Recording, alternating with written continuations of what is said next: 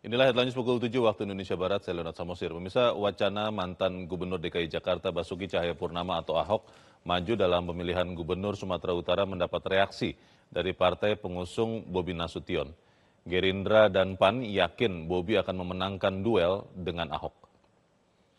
Politisi PDIP Basuki Cahayapurnama atau Ahok digadang-gadang akan ikut kontestasi Pilkada Sumatera Utara 2024 dan berduel dengan menantu Presiden Jokowi, Bobi Nasution. Wacana Ahok berduel dengan Bobi membuat partai-partai pengusung Bobi mulai angkat bicara. Sekretaris Partai Gerindra Sumatera Utara, Sugiat Santoso mengatakan jika Ahok maju, maka Ahok justru akan membuat langkah Bobi Nasution semakin mulus untuk menjadi gubernur Sumatera Utara 2024.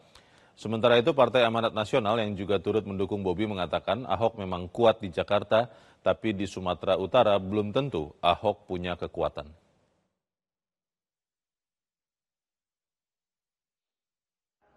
Ya sangat gembira juga misalnya kalau PDIP akhirnya memutuskan Ahok lah kan.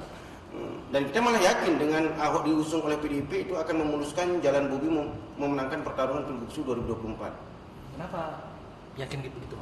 Ya kita belajar ya, PDIP kawan kita dalam berdemokrasi. Tiga kali kontestasi Pilgub itu kan pendekatan yang dilakukan oleh PDIP sama. Ngambil dari luar, terus pendekatannya seperti itu terus dan ya tiga kali kan belum belum berhasil.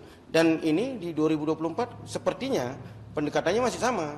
Ngambil dari tokoh dari luar dan sebetulnya kan Ya kalau boleh kita bertanya kan kenapa harus dari luar kan masih banyak dari yang lain. Kalau dalam konteks kita sebagai warga Sumatera Utara, tapi dalam konteks saya sebagai pimpinan Partai Gerindra, saya malah sangat bergembira seandainya akhirnya nanti PDIP mengusung uh, Ahok untuk katakanlah berkompetisi dengan calon kami Bobi Nasution.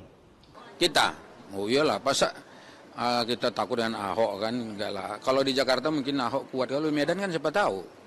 Kan ini baru nih wacana masuk narasi. Dan belum ada juga kan keputusannya apakah memang benar-benar Ahok masuk di sana. Yang jelas di Medan itu sekarang calonnya itu maksud, saya di Sumut ya. Calonnya itu kan ada Bobi Nasution, ada Edi Ramayadi yang sudah um, keluar namanya nih. Kemudian ada Musa Rajeksa. Kemudian ini muncul lagi dari PDI Perjuangan kemungkinan Ahok gitu.